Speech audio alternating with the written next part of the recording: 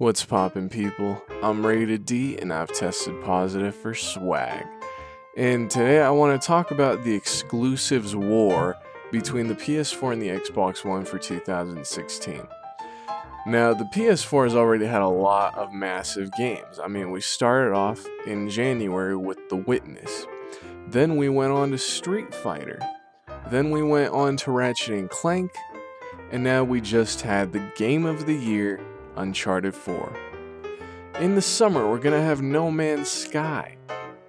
And guess what else, guys? For this holiday season, for the fall, in October, we're getting The Last Guardian. And now, it just came out today that in November, we're getting Gran Turismo Sport. Gran Turismo is one of the biggest franchises in entertainment, not just gaming. So, and honestly, it's bigger than Halo.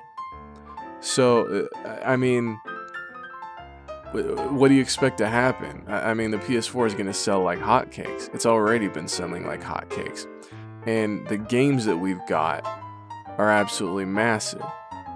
Now, compare that to what is coming out for Xbox and what has come out for Xbox. You had Quantum Flop, which I said was going to flop, and it did flop and it didn't even sell well. You, you, Xbox fanboys didn't even buy the game.